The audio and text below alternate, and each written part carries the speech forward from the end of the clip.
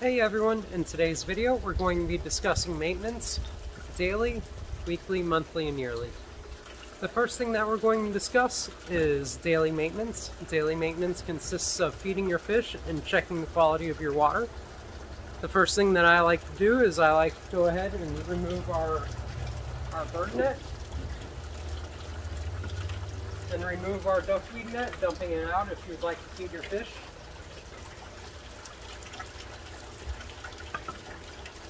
And simply taking a look at the water, all the joints, all the bulkheads, making sure that I don't see any leaks or water level changes. I'm not seeing any clarity changes, and I'm not smelling any foul or different odors than I normally would.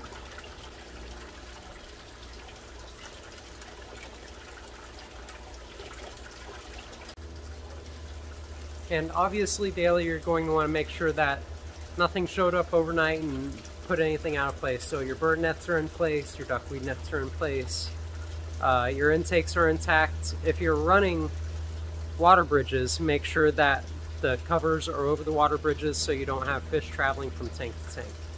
One last part of daily maintenance is going around to each and every one of your intakes inside of your tank, like your sand filter intake, and your main pump intake and making sure that it's not covered up with debris and that it's flowing nicely and that there's no fish or anything else caught up in it.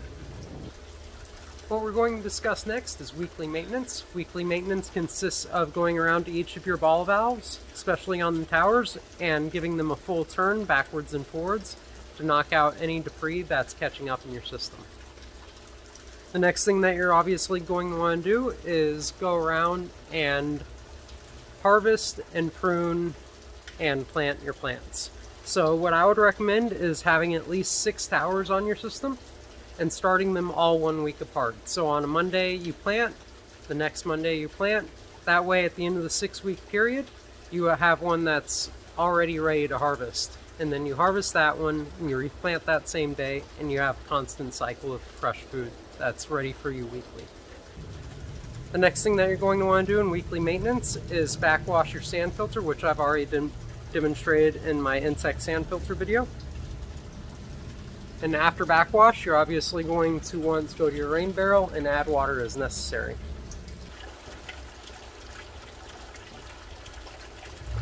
When you are done using these duckweed nets for its grow out cycle and you got all this green algae on there, what I like to do is I like to just hit them with the hose and put them up against the fence where they get a lot of sun and in a couple days they're going to be bleach white again.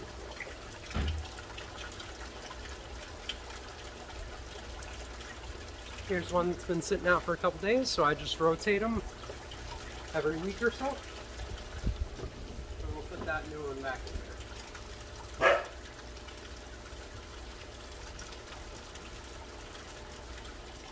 Put some fresh duckweed in there to start growing. About once a week, I also like to go onto my towers and knock off all the string algae, especially into my tilapia tanks, into the water because it's free food for them and they love to eat it.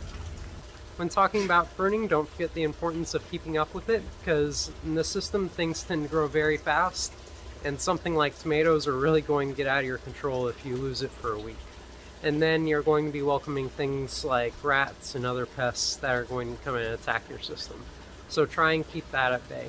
What I also like to do for my tomatoes is I like to grow a lot of mint, and since rats and other pests don't like the smell of mint, I like to chop it up finely and kind of sprinkle it all inside of my, my tomato plants to keep them away.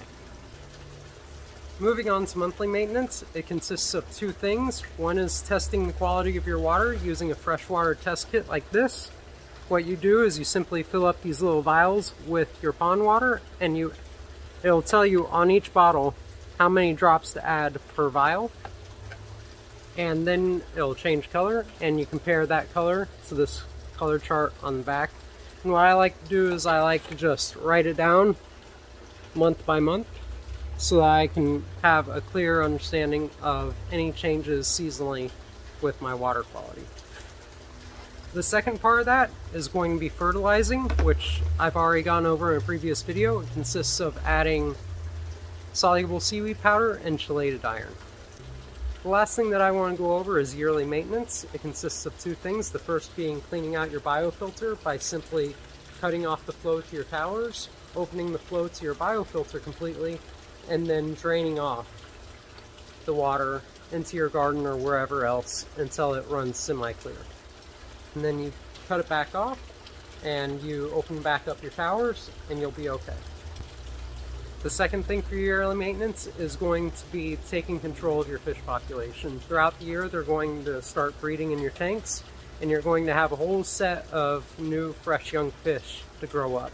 So what you're going to want to do is go around and start culling or selling or whatever else you plan to do with your fish at this time. Most fish are going to have a grow out period of about nine months, so about a year is when I like to do it myself. Also, some quick troubleshooting tips. Like if your water's low, it's going to be a couple different things. It could be that you have a leak somewhere in your system. It could be that your water bridges don't have sufficient vacuum and you need to restart them. Or it could mean that an intake is being clogged by either debris, leaves, or even a dead fish. So you gotta keep on top of that and make sure you check those. Also, if you see dead fish in the water, that could mean a couple different things. That could be mean that they got attacked by a predator, such as birds or otters or anything like that that you may have in your area. It could mean that they got caught up in an intake and died that way. Could mean that you have nitrite spike, or it could mean that you have a fish disease or too low of an oxygen level. So you always got to make sure that you check the water quality and make sure that you have oxygenated water for your fish.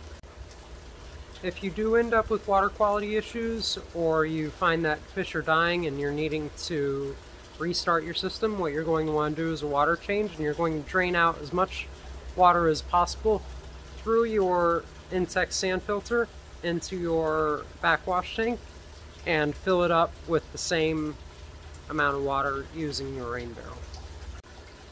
Obviously, after exchanging your water, you're going to want to make sure that your nutrition levels and your iron levels are put back to where they were. So you're going to have to add more fertilizers. So it's just a few simple steps that you gotta take daily, weekly, monthly, and yearly.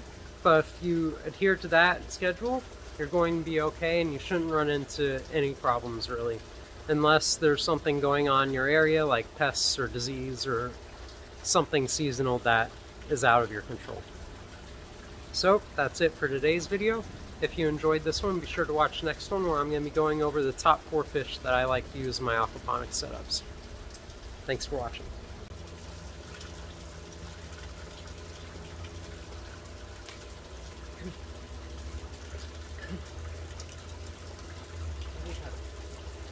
Wake up.